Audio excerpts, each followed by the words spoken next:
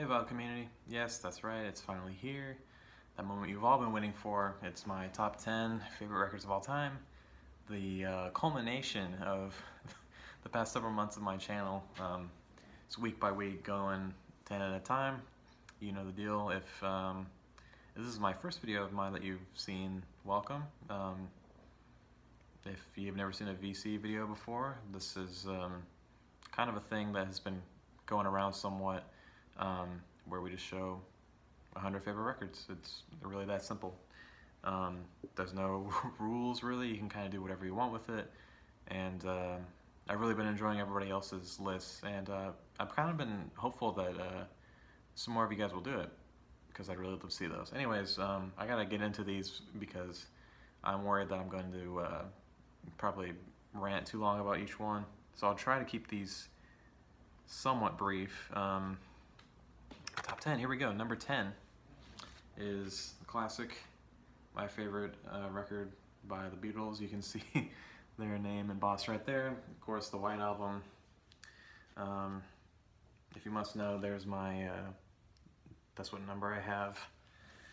It's an original US, uh, on the Apple, all that good stuff, stereo, yeah, yeah, yeah. Um, there's hundreds of pressings of this record. Anyways, um, music on here. Um, kind of an interesting vibe for a Beatles record, very unique. Um, I think Jeff Barty's kind of mentioned, especially in the, like the later parts of the album, there's this kind of um, almost like sinister kind of vibe to it with tracks like um, obviously Helter Skelter, but then um, you got Savoy Truffle, Cry Baby Cry, and of course Revolution 9, um, which is just a crazy, crazy, uh, you can't even really call it a song. Um, it's just a sound collage or uh, what they call it, music concrète. Um, experimental for sure. Um, all over the place musically. A lot of people do not like this record. I can understand why. Um, songwriting though, um, I think a lot of them are at the top of their game. Or George Harrison is kind of going, flowering into his own uh, songwriter. Really, um, probably one of my favorite Harrison tracks ever is on here, "Long, Long, Long," and then he also did Savoy Truffle. Um, he uh, he did Piggies, which is one of his weakest songs ever, and uh, on track or on side one, of course, the classic "While My Guitar Gently Weeps." Um, and then I might as well go with each Beatle. Uh, Ringo, of course, wrote his first song ever. Um, I'm blanking on it for some reason. Don't Pass Me By. Lots of great John tracks on here. Dear Prudence is one of his best. Glass Onion's great. Um, Bungalow Bill, eh, you know. I love Happiness is a Warm Gun, though. And uh, Sexy Sadie. Um, not a big fan of the uh, version of Revolution that's on here, Revolution 1. But uh, Your Blues, their kind of blues rock track is really great. And then you got McCartney's, you know, Blackbird, um, back in the USSR, um, Mother Nature's Son. Um, just, just a fantastic record. All of them are really strong and um, kind of uh, almost like peak musicianship. Um, only only comes close in my opinion with Sgt. Pepper and Abbey Road, which were earlier on in my list, but uh, those are my favorite Beatles record and my number 10 favorite record of all time. I don't really think it needs much of an explanation. Uh, number 9 here is my favorite Neil Young, is uh, Tonight's the Night. Again, kind of a darker record. I should have gatefold here. Um, it's going through some interesting emotions here with the death of uh, the guitarist from Crazy Horse. I think it's Bruce Berry and name drops in the first track. Um, this is uh, original reprise, pressing, black label, all that good stuff. Um, tonight's the night, you know, the bookend, the, the album, open and close. You got Speaking Out, Roll on a String, Borrowed Tune, Let's Go Downtown, uh, Roll Another Number for the Road, Albuquerque, New Mama, lookout Joe, Tired Eyes, which is my probably my favorite Young track, honestly. And then, like I said, Tonight's the Night Part 2. So that's the track listing.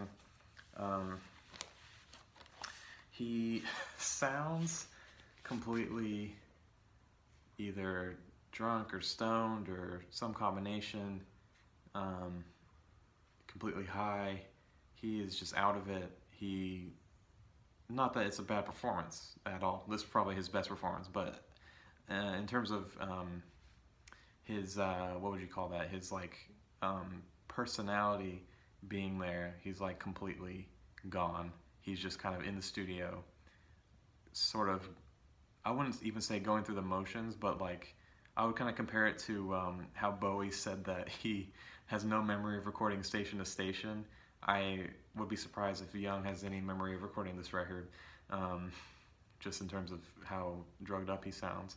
Um, and yet, still a great performance, like I said, vocally and uh, guitar and piano wise and all that. But um, yeah, the rest of the band's really strong too. I can't say I know too many of them by name, honestly.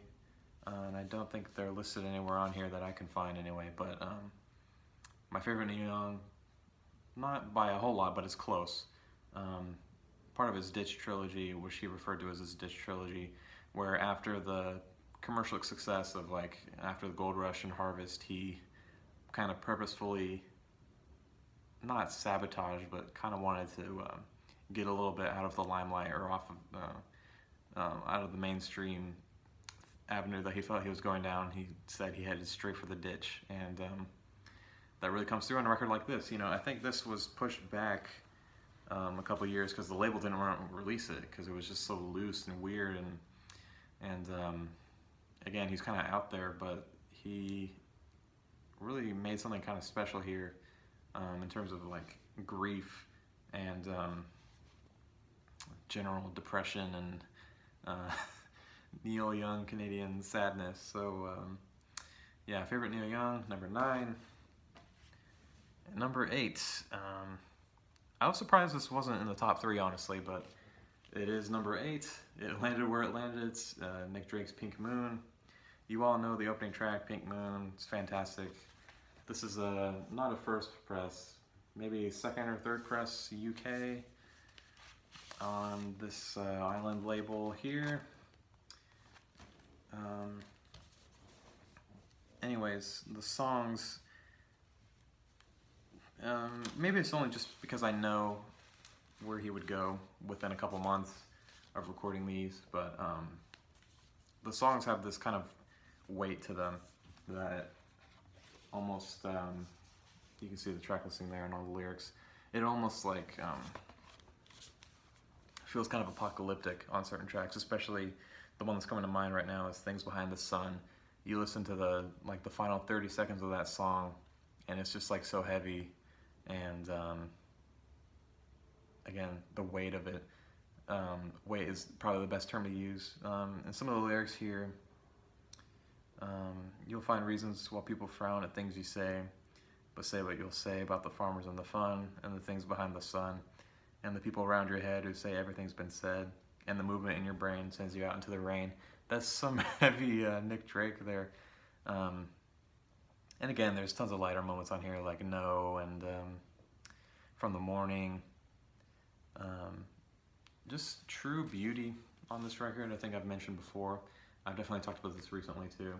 And um, the artwork is something to behold for sure. It's kind of a it really stands out. Even the spine it stands out on the on the shelves. You know, you can spot it from from across the room.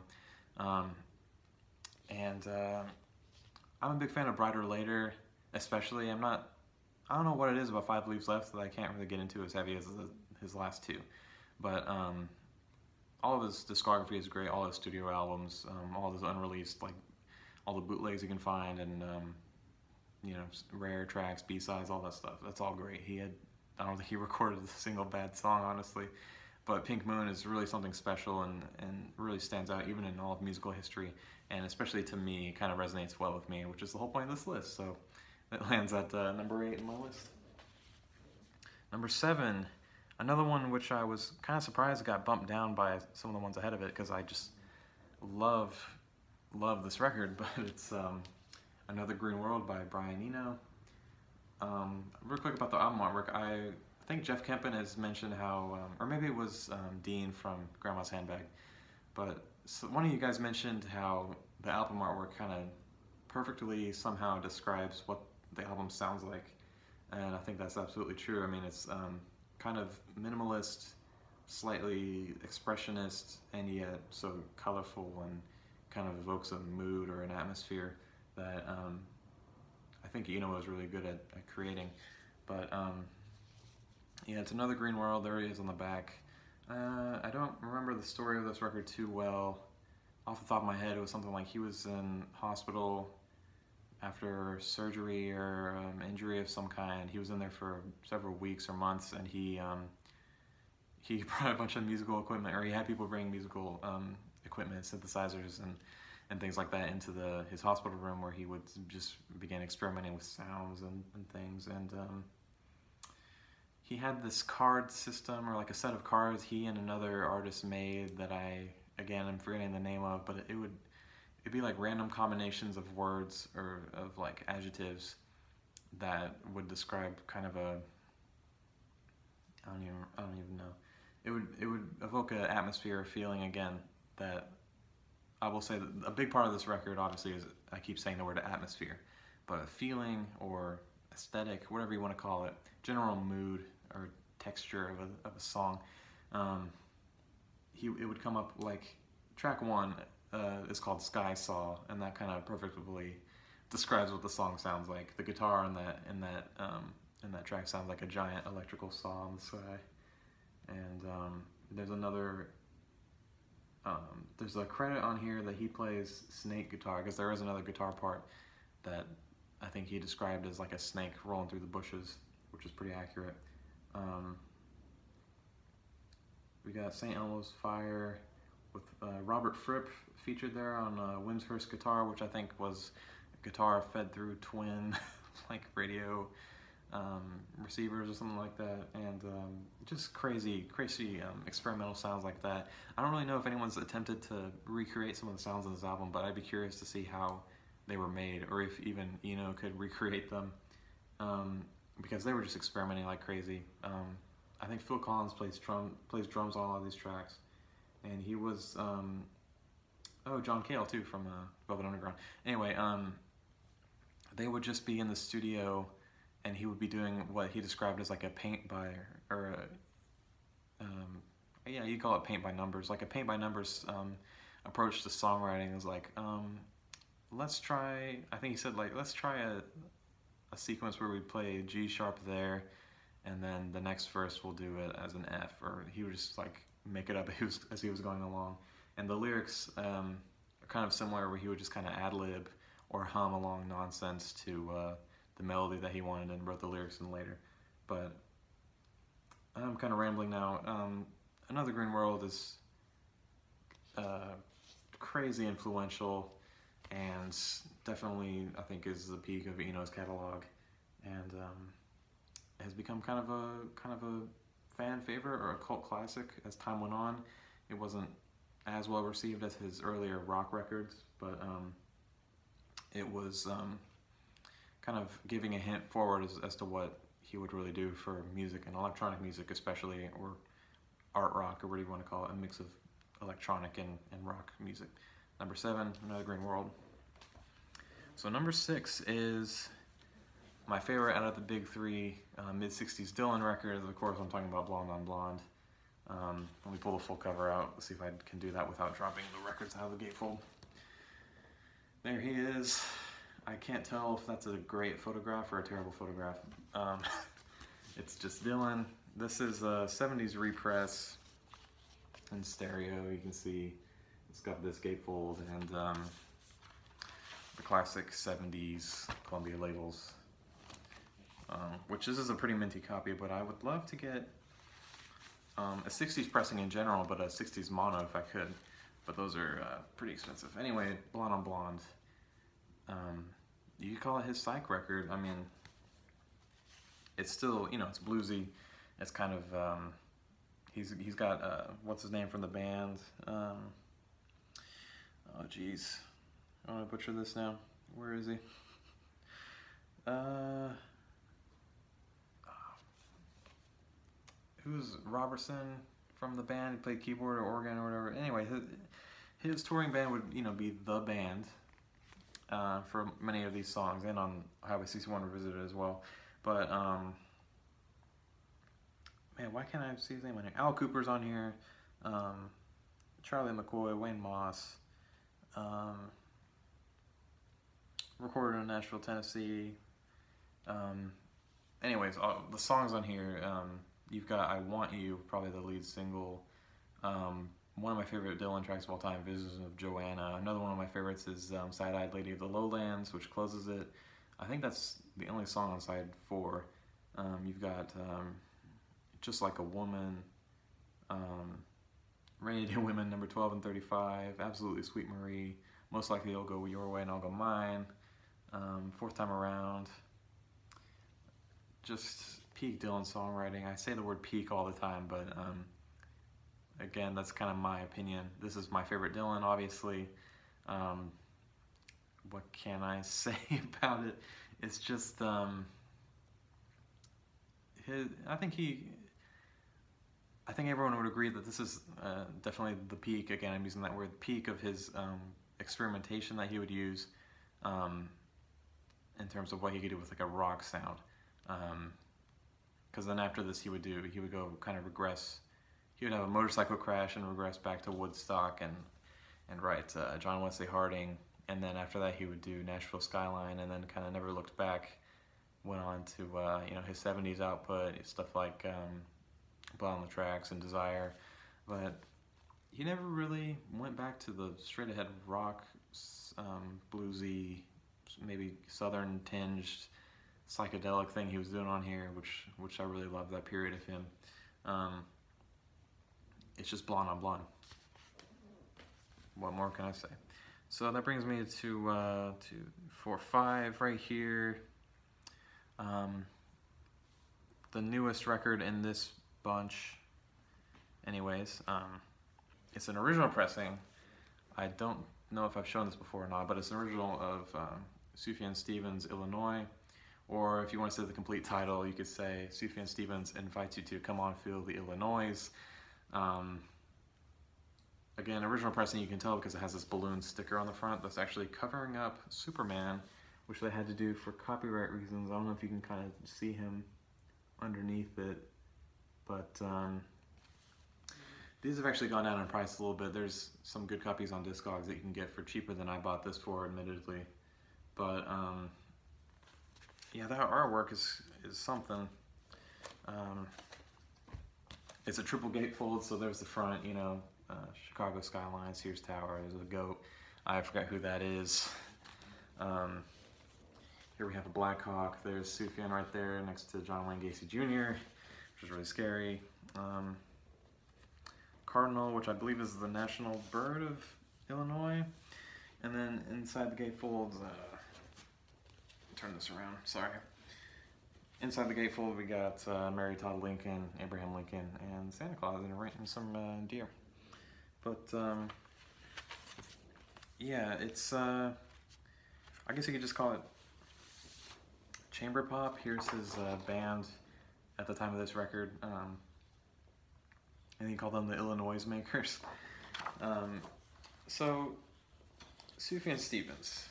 Um, if you haven't heard, listened to him before, which he was in the most recent video in this series, I talked about Carrying Lowell. Um, but he has kind of a, he's one of the best current songwriters I think there is, singer-songwriters. Um, he has a great, sweet, beautiful voice. He uh, almost sounds like a kind of boyish, or um, at least on this record he sounds kind of boyish, almost like um, like a choir boy or something, honestly. But it really works for his his style. And uh, check out those those tracks on there, the names of those. I mean, track two is the Black Hawk War, which you could call it that colloquially. It's the Black Hawk War, or how to demolish an entire civilization and still feel good about yourself in the morning, or we apologize for the inconvenience, but you're going to have to leave now, or I have fought the big knives and I will continue to fight them until they are off our lands. So that's the kind of thing we're dealing with. Lots of these tracks have insanely long titles like that, just run on sentences, and yet a lot of those will be 20 seconds long, 8 seconds long, 60 seconds long. I mean, really it, each side flows as one continuous piece of music. Um, and uh, bonus track on here, The Avalanche.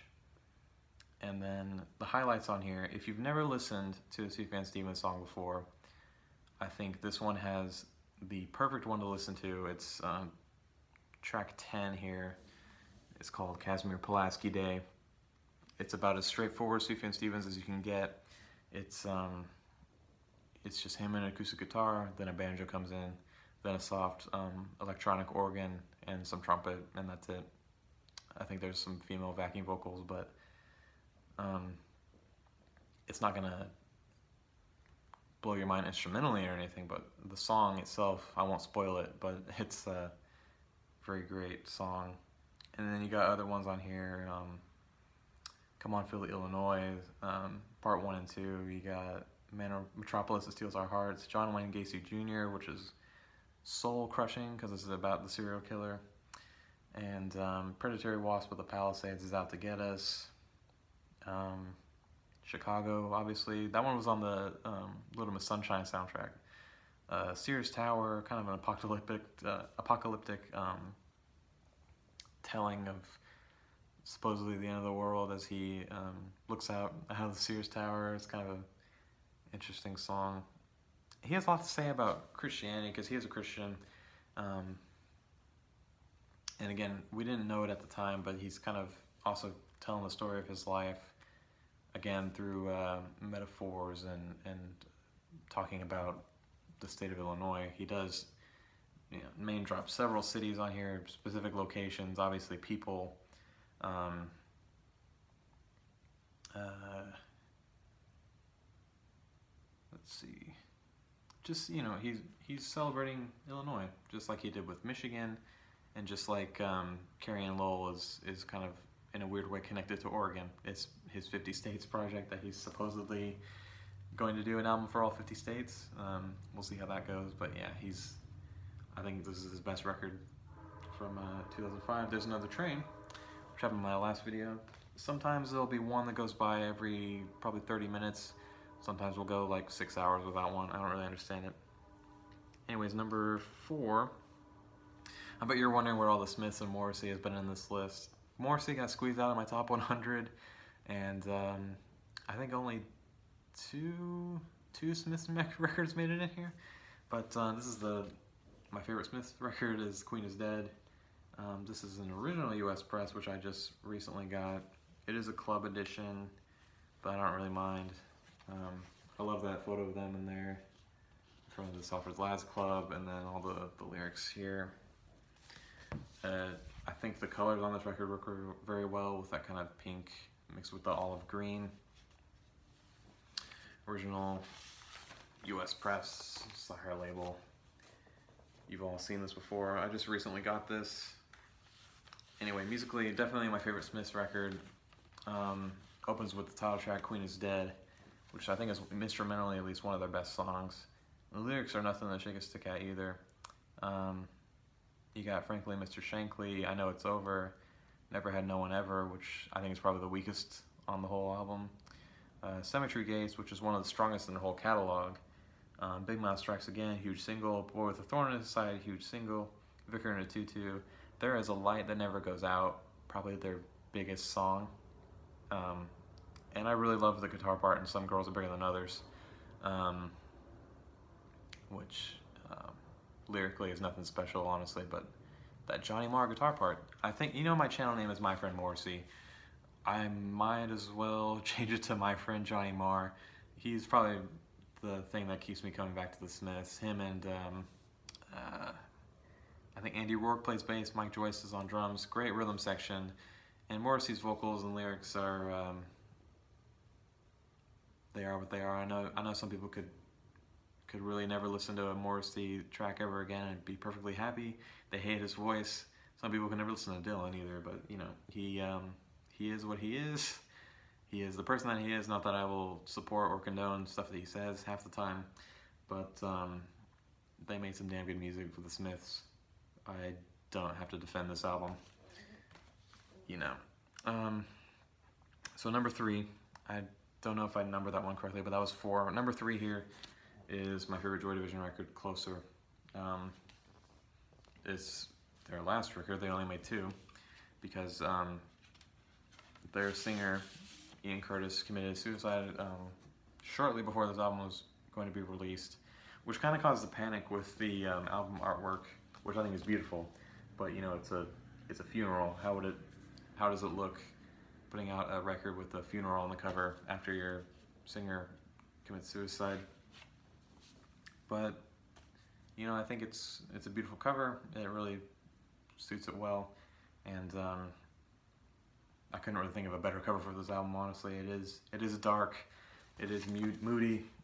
Um, there's the factory label, Factory Records, of course. Um, 1980, this album.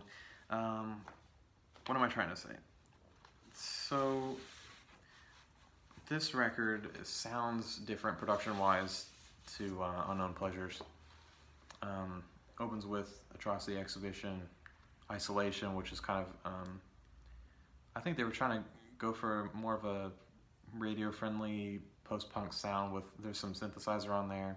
You got Passover, which is fantastic. Colony, Colony is one of their um, heavier songs, or faster-paced songs, which is great. Means to an End. And then on uh, side two, you got Heart and Soul. Side two, I think, is probably one of my favorite um, album sides of all time, Heart and Soul. 24 Hours, The Eternal, and Decades. Decades is probably my favorite album closer of all time. I I honestly don't know if you can top this one side. I mean, the next one comes close. The next album on my list comes close, and so does the a couple others on here. But man, look at that! If you have never heard this record before, I might even suggest to skip the first side and just go straight to the second side. Just go through these four tracks, and that is a perfect album side in my opinion. Anyways, I'm rambling about that now. Um, heavy, it's dark, it's cold, it's um, it feels isolated. It feels probably exactly how Ian Curtis wanted it to feel, and how he probably felt himself. But um, not to get too depressing there, but uh, it's uh, it's just good music. It's just good music. So number two, kind of similar uh, in some, certain ways to the Joy Division record, but number two is David Bowie's Low. Um, some of you might be surprised of how high this ended up. I was kind of surprised too, but you know, for this top 10, I really spent a long time debating. It's the classic desert island disc scenario where, okay, if I can only have 10 records on an island forever, um, what would they be? It ended up being this 10 that I narrowed it down. If I can only have 9, if I only have 8, 7, 6, 5, 4, and then if I can only have 2, this would be one of the two I, could, I would take because I don't know if I could live without it, um, aside from the number 1. But um, it's low, 77 in his Berlin trilogy, the first in his Berlin trilogy. Um, this just got a reissue finally, so if you don't have a copy of this, um, I've heard the reissues are good from the from the New Career in a New Town box set. It's the same kind of thing they've been doing with this whole catalog. I heard they're decent pressings. I mean, this is just on 70s RCA Dynaflex. It's nothing really special, um, which I should pull it out and show you. It's, you know, on the black um, RCA with uh, his master's voice thing right there. It's pretty flimsy vinyl. Um, sounds decent on my table, but again, it feels kind of low quality. And then, um, yeah, I don't know, but musically, he did the same thing, which I think I mentioned on Heroes, where side one is um, all his his rock tracks, and side two is all the more electronic experimentations um, or instrumental soundscapes he was doing with Eno. Um, and uh, you all know Sound and Vision, I think, ends up on a lot of greatest hits compilations of his. Um, I really love What Is It, which I think is track three. Oh, funny connection to Joy Division. Um, on Unknown Pleasures, they, which came out in uh, 79. This album came out in 77. They heard the opener, Speed of Life, which um, they wanted to try to replicate the drum sound on that track, and there Martin Hannett was having a hard time with it.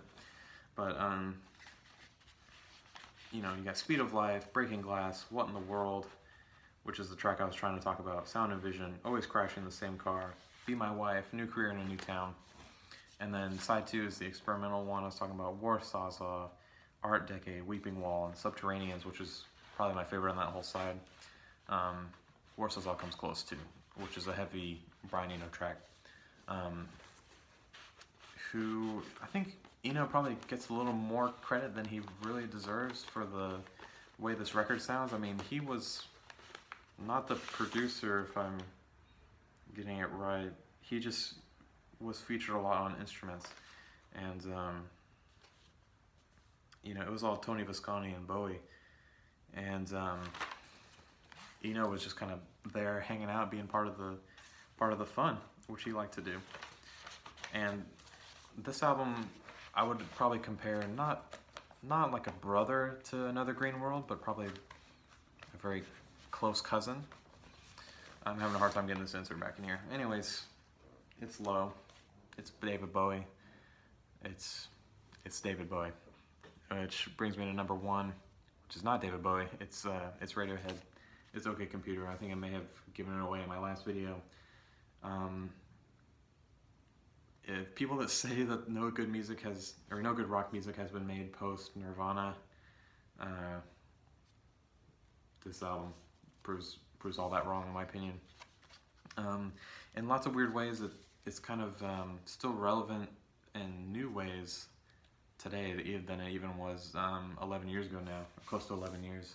Um, because even just the title, OK Computer, um, we have all these things, these pieces of technology in our homes now where you say like, um, you say okay Google or, or whatever. I'm sorry if I just triggered anybody's home home system thing or whatever, but it's just an album about the anxiety of living in the computer age um, and information age in general or age of um, instant travel.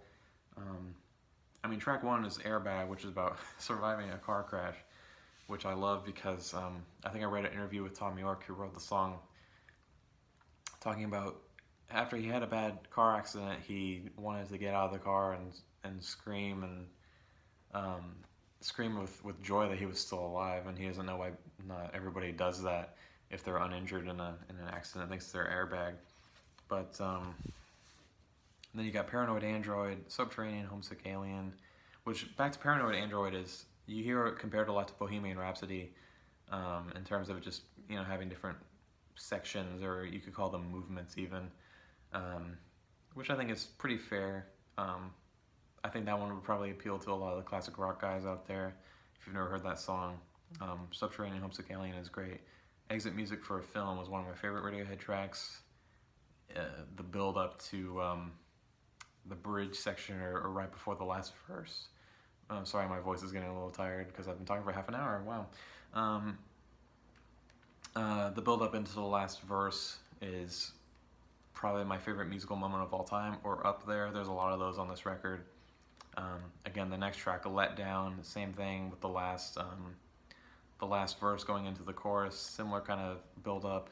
Karma Police, which has a huge outro, which I really love. Uh, Fitter Happier, which is kind of a creepy um, computer generated voice going through like a almost like a grocery list of um, how to be a functioning member of society.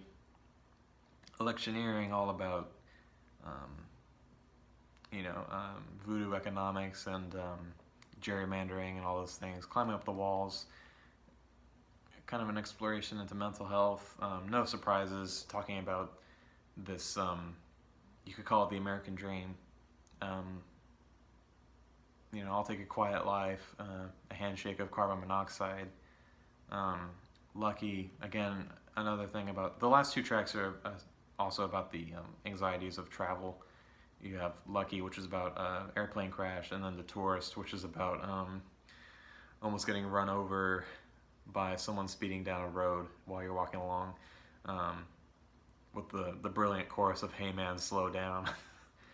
Um, which I'm kind of selling it short, but that's that's literally the lyrics of the song.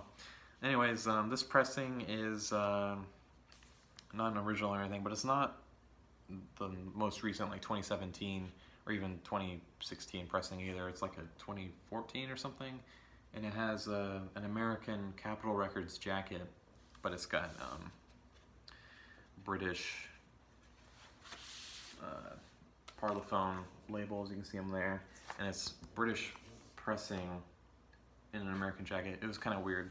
Um, I kind of lucked out because back then this was apparently the best way to get the best sound out of the record. You could go for an original UK or US for that matter, which are expensive, um, or you could try to find one in an American cover like this with the British records inside, which you just kind of have to wait and see and hope you get those, which I did. So um, yeah, it's uh, it's OK Computer, number one record of all time in in my my book. Um, let me guys let me know what you guys think about this um, this record if you like this one or if you like Low or you know if you like I don't know if you like Blonde on Blonde. Let me know what you guys think is the best out of all these and um, that's my list. It's been months. I've been doing this since what like November and now it's almost March and I just finished it. So thank you guys for sticking with it. Um, thanks VC in general for just being awesome. I'm been really excited by all the stuff going on in the VC with um, all the great contests and um, I've been getting inspired to make new series. Um, I've got a couple things in the works in addition to just, you know, showing recent pickups and all that. But anyway, I want to congrat congratulate um, Danny from uh, Not Enough Records for passing 100 subs. If you're watching this, I know I haven't made a video entry for your contest yet, but I'm working on it. Yours kind of requires um, a little bit of uh, thought and preparation, so I'm making sure I'm going to have a good video for that. And Jeff Kempen, I will have an entry for your contest up probably this weekend. Um, yours, um, I don't think will take as long to uh, put together, um, but I'm looking forward to entering both of those. If I can, I'm going to enter H2 Vinyls contest as well. And um, hopefully that won't be an overflow of contest entries, but um, but yeah, that's that's all I've got for this video. This is running really long. I think this is the longest video on my channel now. But um, just thank you guys so much. I, I don't know what to say for all the support I've gotten. I think I'm close to, uh, I'm over 250 subs and um, just working my way up there. Um, thank you all my old subscribers, new subscribers, people that don't subscribe on purpose, people that um, have skipped ahead to this part of the video or skip to each um, each number on my list and have now clicked out of this video. Thank you guys, even though you're not watching this. Um, thanks just in general to everybody. This this whole YouTube thing is really fun. Um, fun way to just you know put myself out there. So uh, I don't know what I'm even talking about anymore. Just thank you. I hope you guys have a good week. I hope you guys have enjoyed the series again. It was a lot of fun, and again, I'm looking forward to. Uh, a lot of you guys' entries and the um, the finale of uh, Jeff Kempen's 100 top 100 records and um, trying to think of anyone else who is still doing it slash will be doing it in the future. I'd like to see actually um, Jay, if you're watching this vinyl in the van, I'd like to see your top 100. Not to like call you out or anything. If you don't want to do it, that's cool. but um, I just think it's fun. I'd be really curious to see if uh, if you could, um, I know it's hard to, to get them all in a, in a list, which it seems kind of arbitrary at some points, but it's just it's just fun. I'd like to see 100 records in general. It doesn't even have to be a weekly series like this. You could just run through them on you know two seconds each. But that's all I've got. This video has gotten really rambly. Sorry. Um, appreciate it. I'll leave it there. Uh, take care, VC.